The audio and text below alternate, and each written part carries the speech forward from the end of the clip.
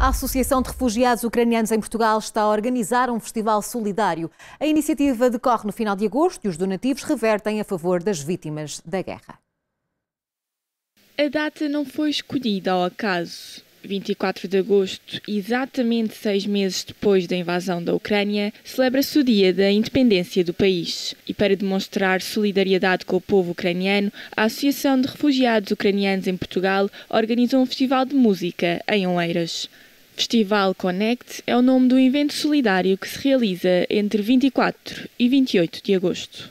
Neste festival, nós vamos eh, unir a nossa energia pela paz e, claro, que vamos uh, divertir-se, vamos uh, saltar, vamos cantar e durante cinco dias nós vamos juntar lá a nossa energia pela paz Vamos ter grandes artistas internacionais de Brasil, como Cláudia Leite, Martinho da Vila.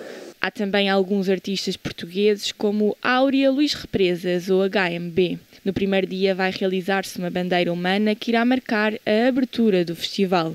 Os bilhetes diários custam 20 euros e o passe geral 60 euros. Todo o dinheiro que nós vamos eh, juntar será convertido para ajudar eh, as vítimas de Ucrânia, ajudar ucranianos e ajudar aqueles que precisam. Nós vamos estar focados no apoio dos ucranianos aqui em Portugal, em primeiro lugar, e vamos também ajudar para ucranianos e hospitais na Ucrânia para ajudar a salvar vidas. Tudo surgiu de uma ideia conjunta.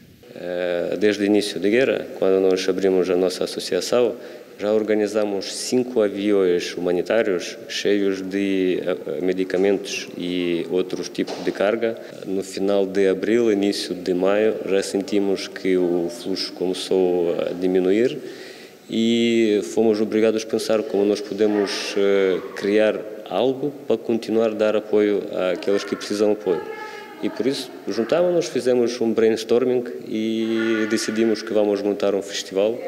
Conseguimos chegar aos artistas que também uh, abriram uh, portas e disseram: Epa, nós queremos dar apoio, nós queremos ajudar.